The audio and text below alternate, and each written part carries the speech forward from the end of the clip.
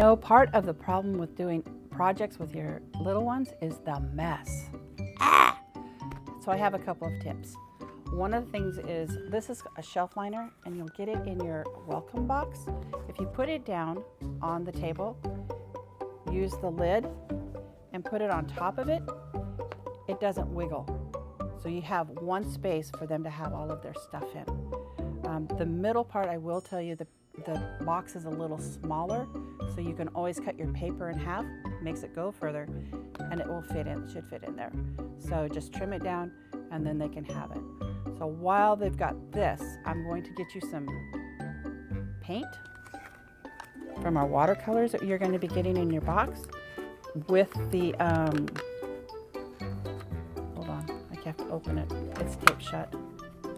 So with the watercolors, when you get them, you can, um, you have the paintbrush, and I use the top of a water bottle lid to put the water in. You don't have as much water. If it spills, guess what? It's not a big deal. And you can go right here on the lid. You can tap it in. And then, of course, they're going to go through and they're going to paint every color. You're going to end up with a whole line of brown paint when they're done with painting. So all you do is you take a paper towel and wipe them off. Guess what? It Takes away the water. This dries, it'll be the color that it was. It saves it what to do with a dirty paintbrush. All you have to do is this water bottle that you use, there's a little bit of water in the bottom. You pop this in, put the lid back on, shake, shake, shake. The paintbrush is now clean. Take it off.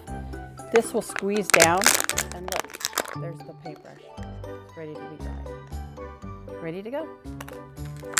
Thank you. It's really great. Talk to you soon. Bye.